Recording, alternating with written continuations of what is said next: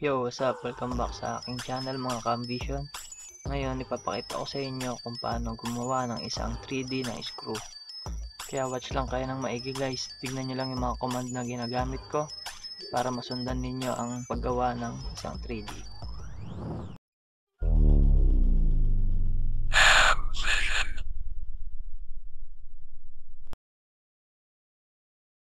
Hello mga ka-ambition, please click subscribe button and notification bell para maging update sa mga bagong video na aking i-upload. Sound trip muna kayo guys at tignan ninyo mabuti ang aking mga ginagamit na command para hindi kayo mawala o malito sa ating ginagawa ngayon.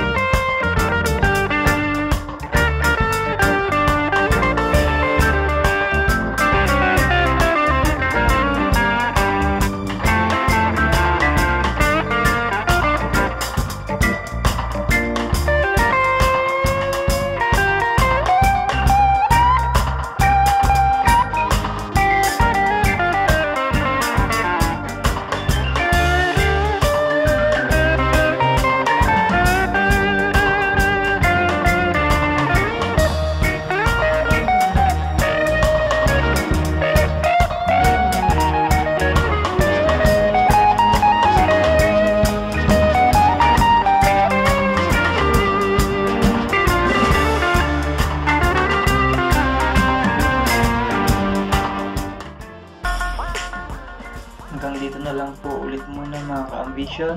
Naway may natutunan tayo sa ating ginawa ngayon. Please click subscribe button and notification bell para ma-notify kayo sa ating bagong video.